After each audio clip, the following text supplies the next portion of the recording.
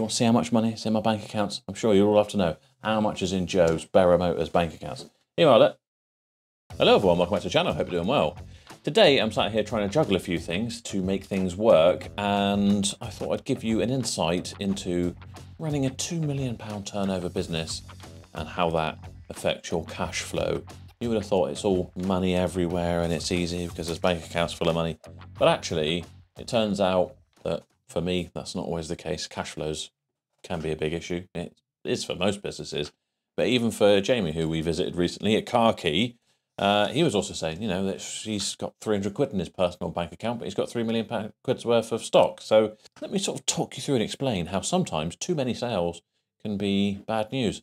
We are on the 10th day of the month and we've sold 16 cars. And if we look at what's on the board there, we, I don't know, we're going to we're to start our new stock book. We've got 25,900, 9,000, 6,000, three and a half grand, uh, eight and a half grand, eight grand. The Vitara, I can't remember what that was. Let's say 10 grand, uh, seven grand, 1,200 quid. The VW Cabriolet, can't remember. I think that was seven grand, eight and a half grand, eight grand, ten and a half grand, 6,700, 6,100. And if you go down to the bottom board, that's stuff from last month that's still waiting to go out, six and a half grand, uh, £3,000, £14,000 for a Navara, and £9,000 for a Qashqai. That's great, right? Because we got tens and tens and tens and tens of thousands of pounds of worth of money to come in, which is always nice to look forward to.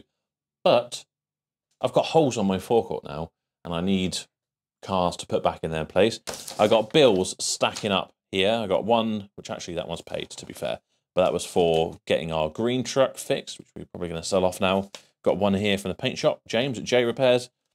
I've got an overdue HM Revenue and Customs uh, here for PAYE. Don't worry, I've paid the employers. I just haven't paid the PAYE just yet, which I will do that.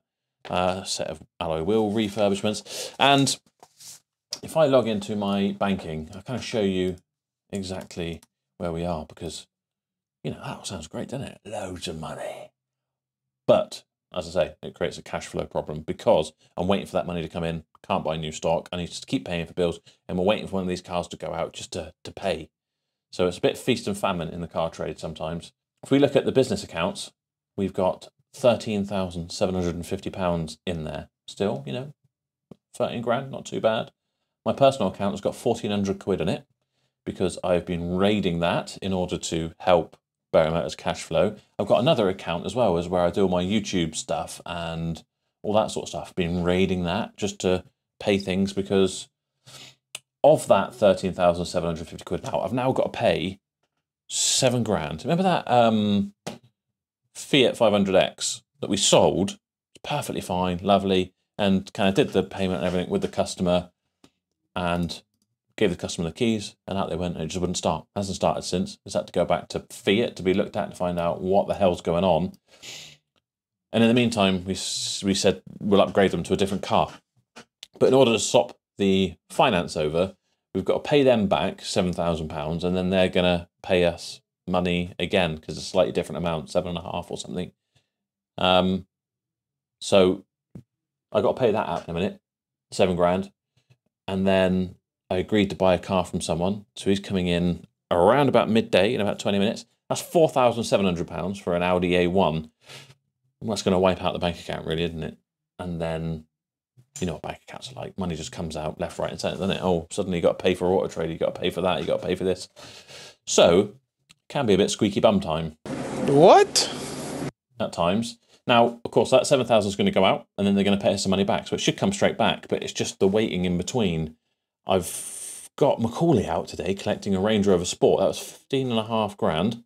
I've loaded that onto our stocking plan. So I had to pay for it first, and then I'm waiting for the money to come back. Again, I'm waiting for it. So all of a sudden, we might have a load of money and it'll all be all right again. Then I can start thinking about buying some stock. But at the moment, we're waiting on cars to go out, desperate to buy more stocks so that we can sell some. And we just need to get all these prepped and ready to go. I'm just trying to think what's really holding this stuff up. Range Rover Sport. We've got loads of profit in, that's great. We've got a nice Touareg coming in in part exchange. The only thing that's holding that up is the side steps didn't deploy properly. So we've had to put new motors on, but I think they've been a right pig of a job to do, as of anything Range Rover.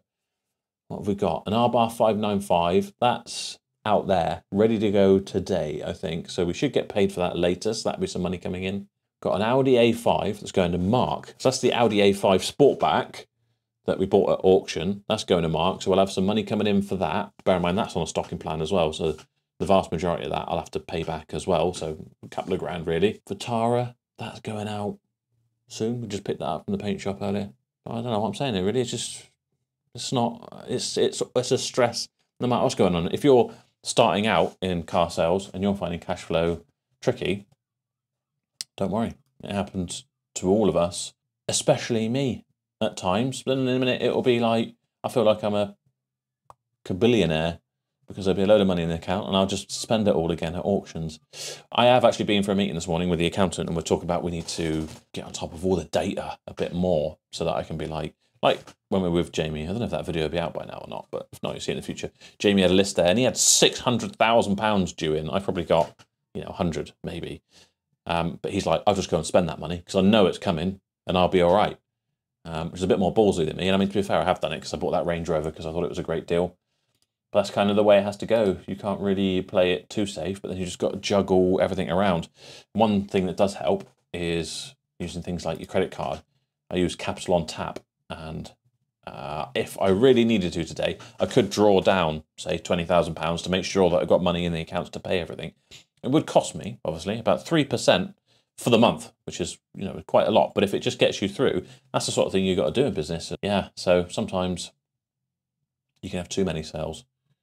No, you can't really. But I guess we just need to be cracking through them a bit more. So I need to get this paid to MotoNovo. Right, so uh, I paid off that finance. We'll have some more money back, but at the moment, do you want to see how much money is in my bank accounts? I'm sure you'll all have to know how much is in Joe's Berrow Motors bank accounts. Are it. Berrow Motors one, £6,755. Don't forget, I'm only spending 4,700 quid in a minute, so there'll be two grand in there. This is like an old account, which uh, we pay our bounce back loan out. So I just keep a bit of money in there, which pays this. So I owe 20 grand, 21 grand on that now. There's my personal account with £1,451 and a savings account with four, 473 quid. So, you know, pretty big time. You can understand why I'm just splashing cash around and sponsoring racing drivers and stuff now, can't you? uh, but that's just the way it'll be. It'll go back. It'll all pump back up again in a minute. You can see how much is coming in. But, you know, it's just the way it's got to be sometimes. Don't panic too much. Um, but yeah, it is handy having something like Capital on tap on hand. This isn't really an advert, although I will do one in the future because I am working on something with Cap on tap because they are very good. You earn points. I can buy stuff on Amazon. You can transfer it into your balance, and uh, that's what I use to buy a hexagonal lights out there. Put all my expenses through it, and we've got a 35 grand limit with them. So worst case scenario, I could get a bit of money from there, put it in. Um, it's just a very handy tool to have in your toolkit. Um, so yeah, I just thought that'd be interesting because that's, that's the lowest the bank account's probably been in a little while. Uh, if you've seen any of um, Dave from Car Dealer Pros videos, he says he likes to have a little buffer of 50k across all the different accounts to pay for tax and VAT and all that sort of stuff. And it seems like me and Jamie Capel of Carkey were a bit more cavalier. We're just like, yeah, spend it, mate. And then when we got the money, we'll pay the bills. I mean, I could probably pay my PAY thing on the capital on tap, which I'll probably do in a minute. You have to be a master juggler in business. So there you have it. That's, uh, I don't know what we'll call this video.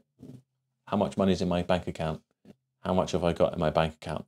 Not a lot. Maybe because I spent it all on a lovely Tag Heuer watch, which happens to be down here. I don't keep it here. Don't come and rob Berrow Motors. I'll put it somewhere else. Look at that bad boy. A Tag Heuer Formula One. This is like a two gram watch. If you want to find it on Pride and Pinion. You know that Nico van der Horst uh, guy who's all over YouTube. That's his website. He's got these for sale. Two grand.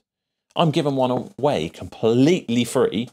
All you got to do is subscribe. And When we hit 75,000 subscribers, we're giving it to someone at random. I don't really know actually how I'm going to figure that out, but at some point, one of you will get a chance to win that. So, yeah, I haven't got any money at the moment. If you did want to sell your car in the future, you could visit carsboughtformore.com uh, enter your information, we'll give you a price. And if I've got any money, I'll try and buy it from you. Um, hopefully by the end of the day, I'll have a little bit more.